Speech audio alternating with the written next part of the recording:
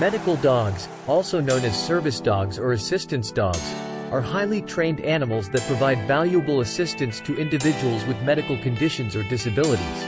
Training a medical dog is a complex process that requires a deep understanding of canine behavior, patience, and consistency.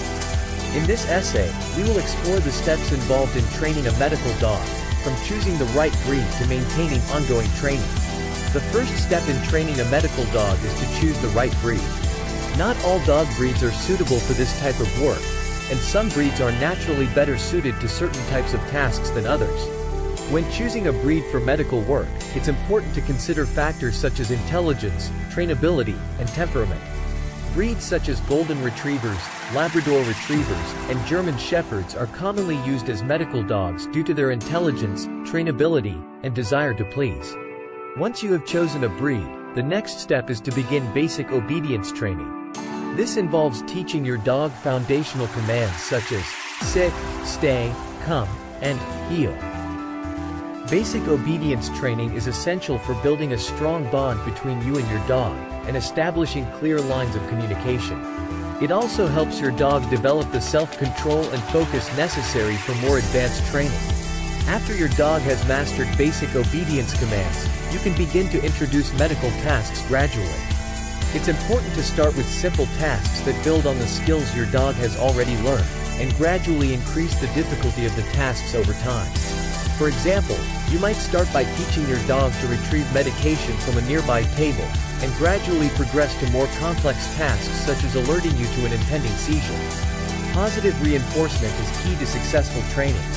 This involves rewarding your dog with treats, praise, and affection for successfully completing tasks, and ignoring or redirecting undesirable behavior.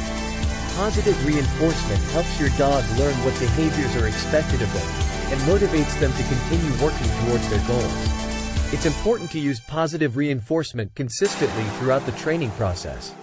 Training a medical dog can be a complex and challenging process, and working with a professional trainer who has experience training medical dogs can be extremely helpful.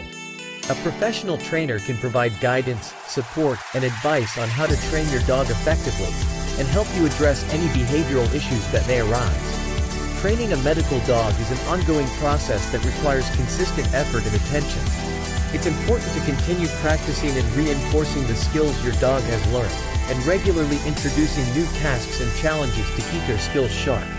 Consistent training helps your dog maintain their focus and ensures that they are always ready to perform their duties when needed. In conclusion, training a medical dog is a long-term commitment that requires a lot of time, patience, and effort. However, the rewards can be immeasurable, both for you and your dog. With proper training and support, a medical dog can help improve the quality of life for individuals with medical conditions or disabilities.